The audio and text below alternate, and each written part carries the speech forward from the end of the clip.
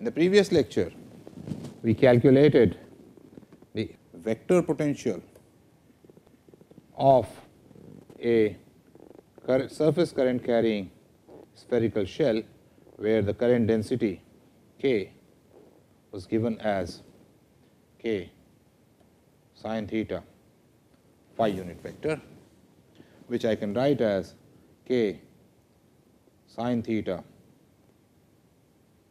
sine phi in the minus x direction plus k sine theta cosine phi in the y direction.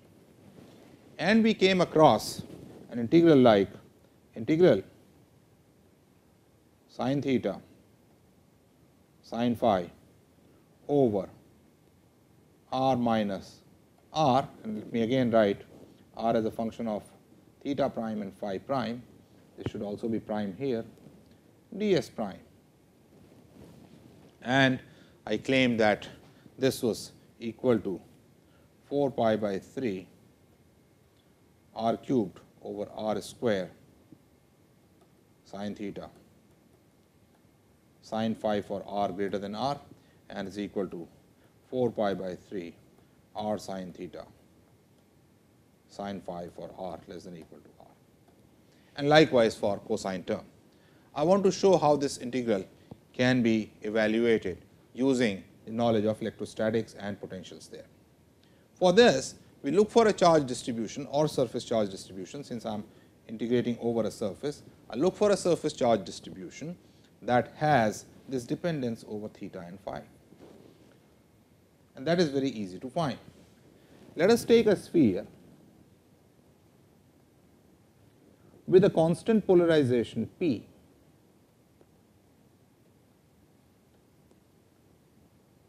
in the x direction.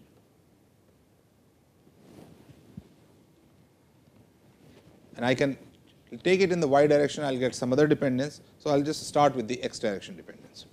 Then I know that outside the electrostatic potential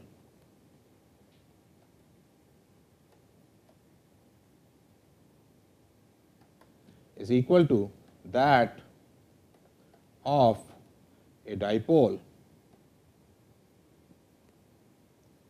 a point dipole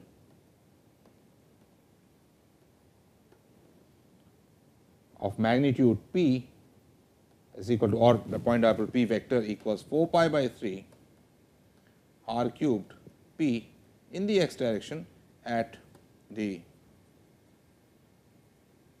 center of the sphere. So, that is fact number 1.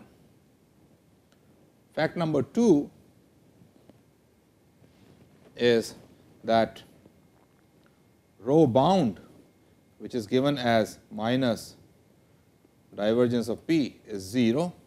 However, there is sigma bound which is going to be p dot n which in this case is p dot r unit vector.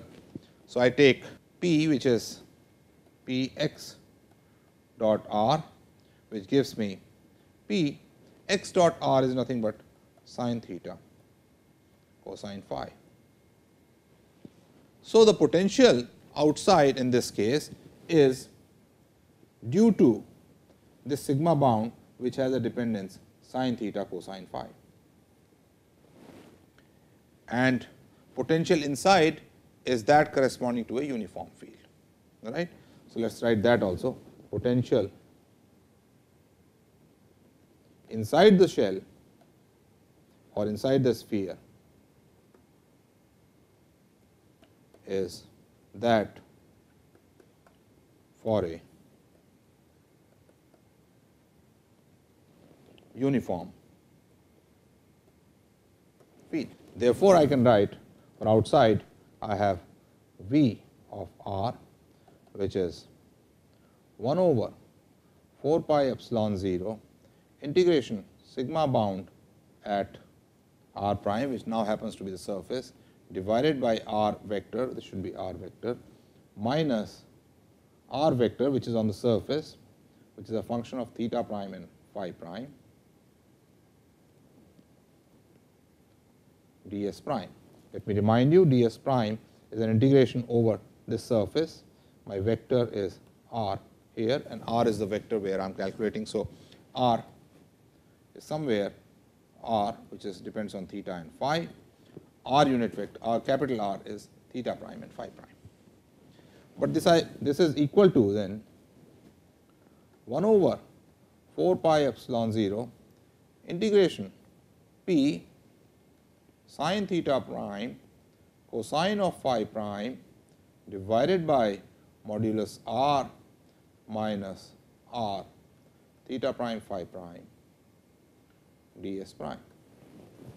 This is the potential, but I also know this is equal to 1 over 4 pi epsilon 0 p dot r unit vector over r square. All right and p is in the x direction. So, this becomes 1 over 4 pi epsilon 0 4 pi by 3 r cubed capital P times sine theta cosine phi divided by r square. That is the potential. Let us now cancel certain terms. You will see that P cancels from both sides, right. 1 over 4 pi epsilon 0 cancels from both sides and what I am left with then is that integral sine of theta prime cosine of phi prime over r minus r which is a function of theta prime phi prime ds prime is equal to 4 pi by 3 r cubed over r square sine theta cosine of phi. What about inside? So, this is strictly valid for I must point out this is r for greater than or equal to r because we have taken this, this expression for the potential which is valid for this region. So, now we go for inside. Inside I have a uniform field.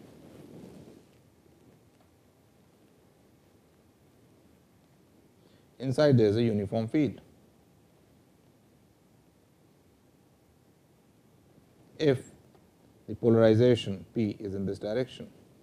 And what is the value of this field? The value of this field E is nothing but minus P over 3 epsilon 0 is in the negative x direction. And therefore, the potential V R is nothing but plus P over 3 epsilon 0 x.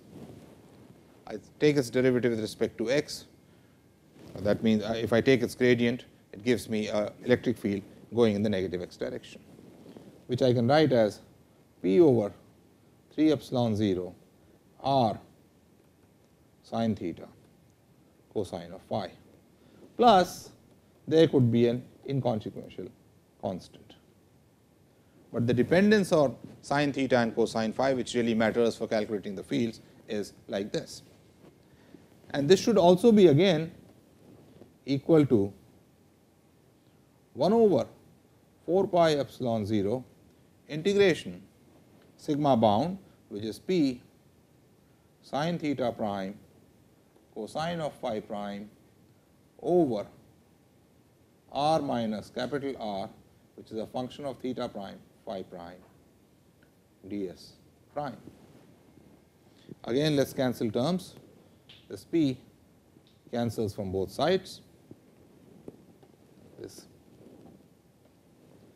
epsilon 0 cancels from both sides. And what you are left with is then that integration. Sine theta prime cosine phi prime over r minus r theta prime phi prime ds prime is equal to 4 pi by 3 r sine theta cosine phi plus c, where c will be determined by what is the discontinuity at the surface and if you want to make the v continuous then c will be determined by that. But the dependence on theta and phi comes through this r c sine theta cosine phi. What about the other integrals? Now, if I want to evaluate the integral sine theta prime sine phi prime over r minus r which is a function of theta prime phi prime ds prime, what would I do? I would take this sphere and have a polarization p which is in the direction y. So, that again curl of p is 0. So, rho bound is 0, but sigma bound is going to be p dot n coming out of the surface which is p dot r which is p y dot r and this becomes p sine theta prime sine phi prime. So, if I calculate the integrals corresponding to this and equate them to p dot r over r square, I will get the integral answers for integrals for this. So, I can always find these situations where an integral corresponds to a particular expression for potential in the electrostatic case and therefore, I can directly write what my answer should be. More of these integrals I will give you in your assignment.